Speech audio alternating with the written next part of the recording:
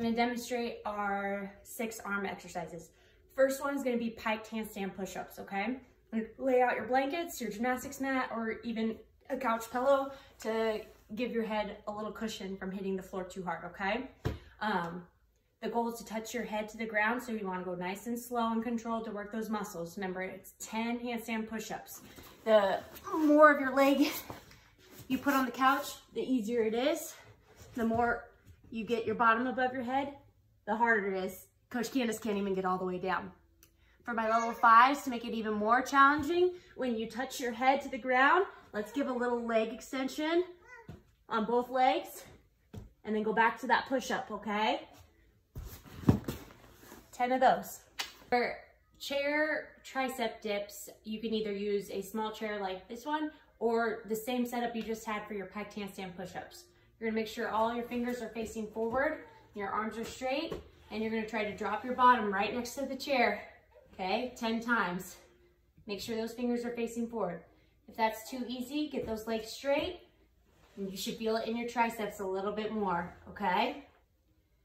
Even further challenge, lift a leg up and just do one leg. Woo, I can't go as low. Okay, you're gonna wanna do 10 on each leg if you do the single leg version.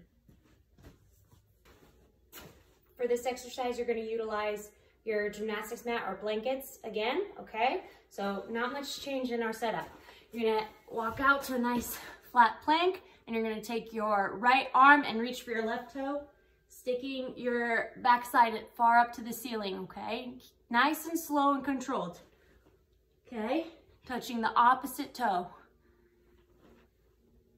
One and one, two and two. Okay, you're gonna do that 10 times. If you need a little bit more of a challenge, you're gonna stick those feet up on the couch again and try it this way. It puts a lot more weight on your arms. And see, I'm sticking my bottom up. You gotta try to get your hips nice and flat and then stick them up really high, okay? That's an arm exercise, but I also feel it in my stomach. So really engage your core and that's gonna help, okay? Your next exercise option for arms is wall push-ups, okay? You're gonna be doing wide, normal, and diamond shape, okay? So you're gonna put your hands wider than your shoulders against the wall and try to kiss your forehead, okay? Ask mom and dad if it's okay to put your face against the wall. You're gonna do 10 wide and 10 narrow, so your elbows are gonna be coming into your chest. You should feel it in those triceps, yes? And then make your diamond and try to kiss your pointer fingers, okay?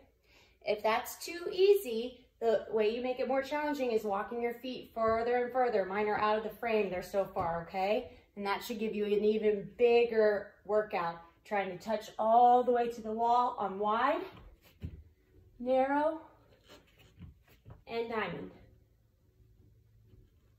Okay, really push yourself on this one. It's 30 reps in one station, okay? You can do it. Another option for arms is walking push-ups, okay? This isn't walking with your legs, it's gonna be walking with your arms.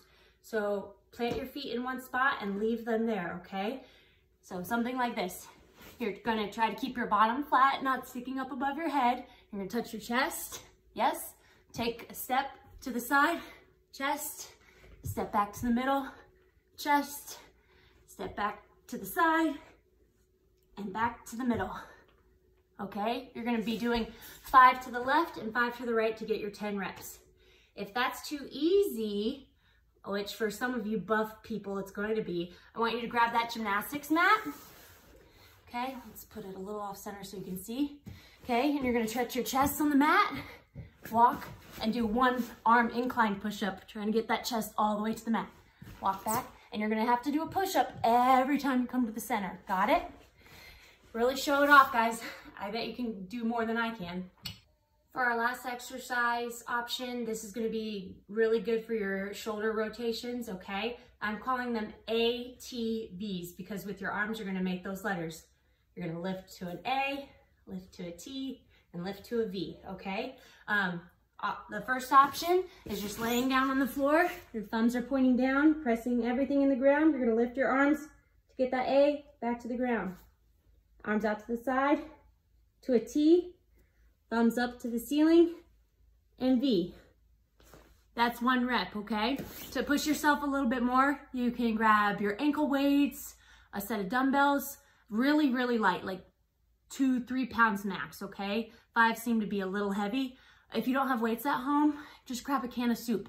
That would work really good. So right here I have my weighted cups to demonstrate. So I'm gonna lift those cups to the ceiling, lift those cups to the side, and then flip them upside down. Okay, should feel that right here. Really squeezing your lower bodies, trying to have good form, okay?